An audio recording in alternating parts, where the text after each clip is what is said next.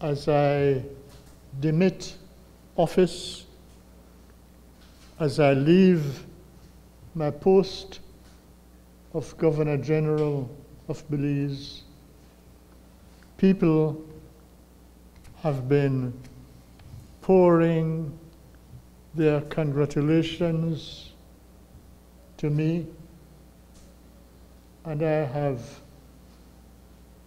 had a hard time keeping up with all the good wishes that they have given me, good wishes from all over the world, because, as you have heard, I am the longest serving Governor General in the Commonwealth, perhaps in the world. Well, I don't know if the rest of the world has Governor General. So I won't say the world, but in the Commonwealth. And as I go into retirement,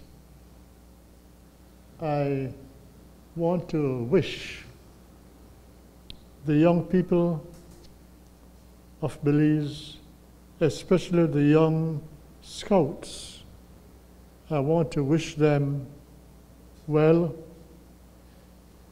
keep the movement strong. You have excellent leaders.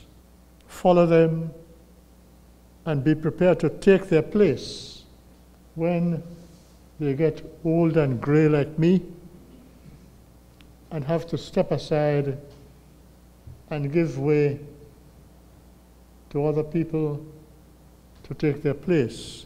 Be prepared to take their place.